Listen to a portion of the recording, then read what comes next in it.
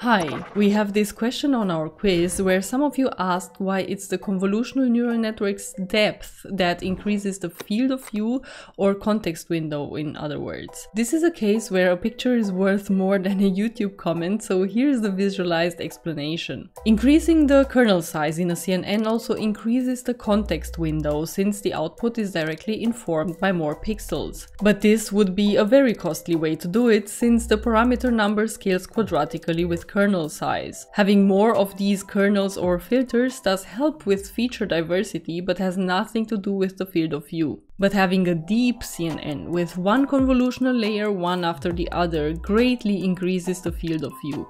In a nutshell, if the output after the first layer is this and was informed by the whole region of 4 pixels, then the next convolution layer aggregates again 4 pixels, but now one of them is already informed by 4 others.